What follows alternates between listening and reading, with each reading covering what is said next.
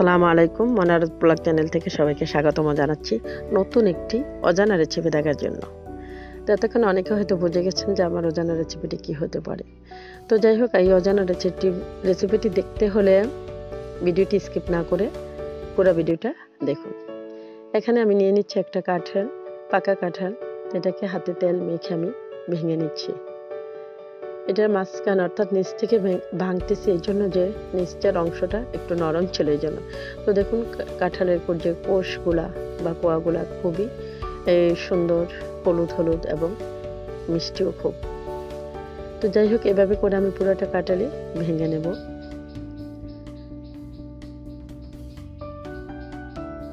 তো আমি সবগুলা কাঁঠাল আমার ভাঙ্গা শেষ। এখন যে অজানা অংশটা আমি বের করব।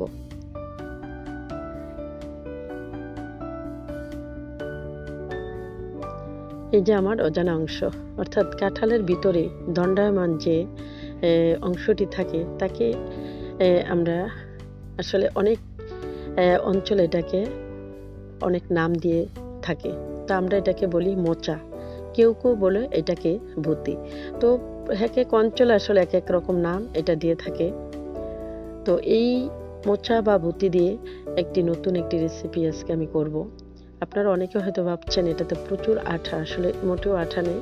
এটা ভাঙার পরে এটা যখন কয়েকবার আমি ভালো করে পরিষ্কার করে নিলাম, এটাতে একটু আঠা ছিল না। তারপরেও মনের সন্দেহের জন্য আমি হাতে একটু তেল মেখে, বডিতে একটু তেল মেখে এটাকে কেটে নিচ্ছি। তো এটা ছোট ছোট টুকরা করে কেটে নিব।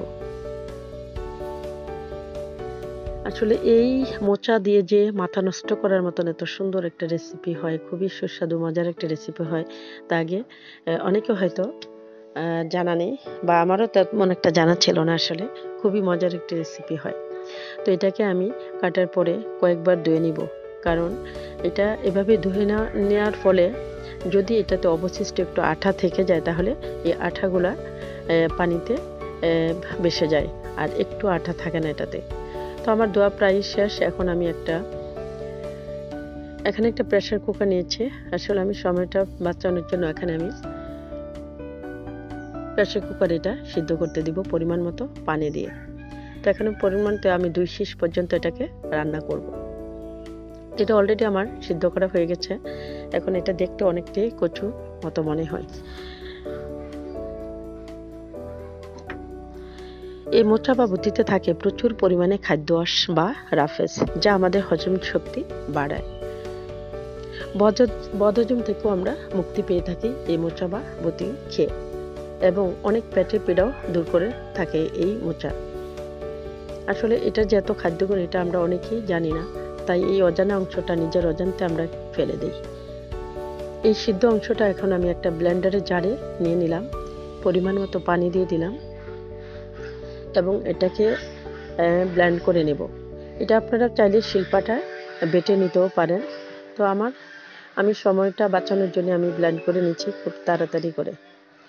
এখানে আমার প্রায় ব্ল্যান্ড করা মোচা প্রায় দেড় কাপের মতো, অর্থাৎ মেজারমেন্ট কাপের দেড় কাপের মতো হয়েছে। তো আমি সরাসরি চলে গেলাম চুলায় চুলায় বসিয়ে দিলাম একটি প্যান। প্যানটা গরম হতে, হইতেছে, এদিক দিয়ে আমি পেঁয়াজগুলা কেটে নিচ্ছি। এখানে দিয়ে দিলাম আমি দুই টেবিল চামচ পরিমাণ তেল। অর্থাৎ এই তেলটা আপনারা দিবেন মোচার পরিমাণ বুঝে। মোচার পরিমাণটা যদি একটু বেশি হয় তাহলে একটু বেশি দিবেন, কম হলে কম দিবেন। তো এখানে আমি ফোড়নের জন্য দিয়ে দিলাম দুইটা তেজপাতা, গরম মশলা দিয়ে দিলাম দুটা এলাচ দুটা দারচিনির টুকরা এবং কয়েকটা লবঙ্গ।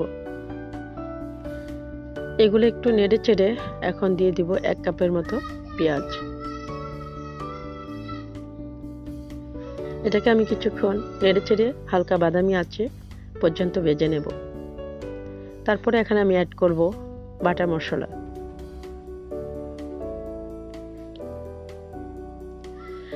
বাটা মশলার মধ্যে দিব আমি এখানে এক চা চামচ রসুন বাটা, এক চা চামচ আদা বাটা এবং গুঁড়া মশলা, হলুদের গুঁড়া এক চা চামচ, ধনিয়া গুঁড়া এক চা চামচ, আর মরিচের গুঁড়া এখানে আমি নিয়েছি হাফ চা চামচ। অর্থাৎ মরিচের গুঁড়াটা এখানে আমি কম ব্যবহার করব, কারণ এখানে আমি প্রচুর কাঁচামরিচ ব্যবহার করব তাই।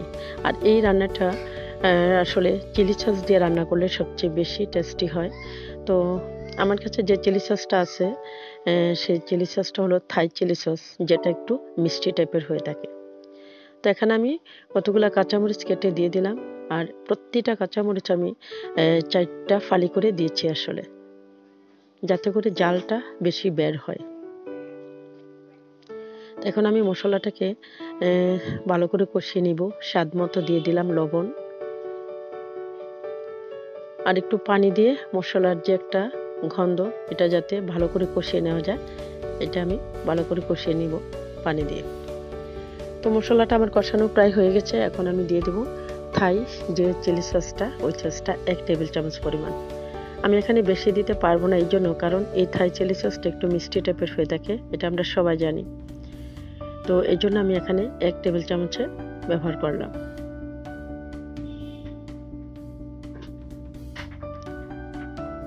তো এভাবে কিছুক্ষণ নেড়ে চেড়ে কষাতে কষাতে যখন দেখব যে তেলটা আমার মশলার উপরে উঠে আসছে,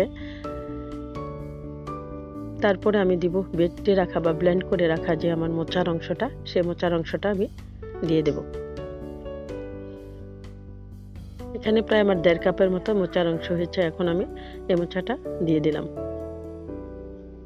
এটাকে ভালোভাবে নেড়ে চেড়ে মশলার সাথে মিক্স করে নেব।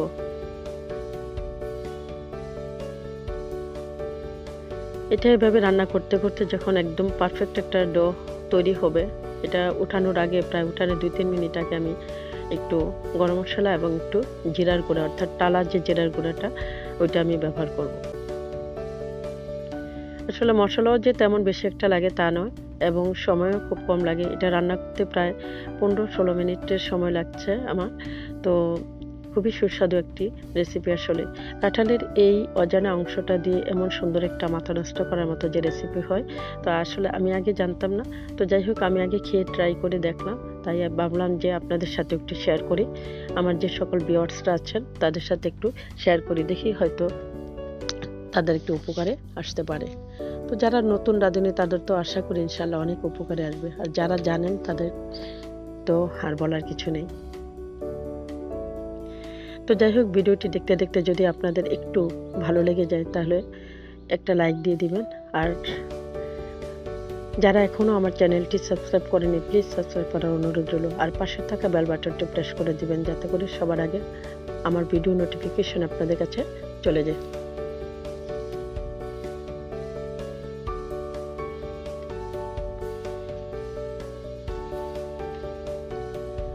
তো এভাবে করে করে কিছুক্ষণ পর পর, অর্থাৎ দুই মিনিট পর পর আমি এভাবে নেড়ে দিচ্ছি, কারণ যেন নিচ থেকে লেগে না যায়। আর চুলার আঁচটা আমি আসলে মিডিয়ামে রেখেছি। আর এখন যেহেতু একটা একদম শেষ পর্যায়ে আসছে, আমি একটু লো ফ্লেমে রেখেছি চুলার আঁচটা।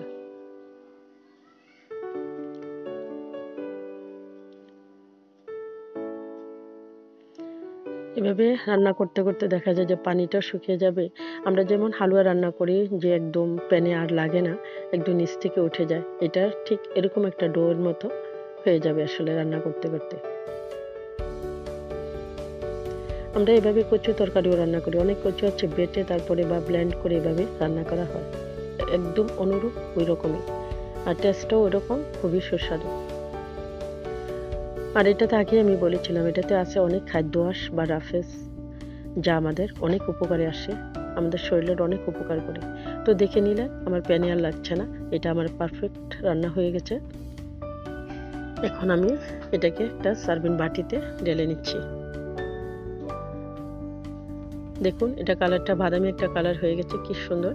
তো বন্ধুরা, যদি আমার আজকের এই ভিডিওটি ভালো লেগে থাকে, তাহলে অবশ্যই একটি লাইক দিবেন শেয়ার করবেন।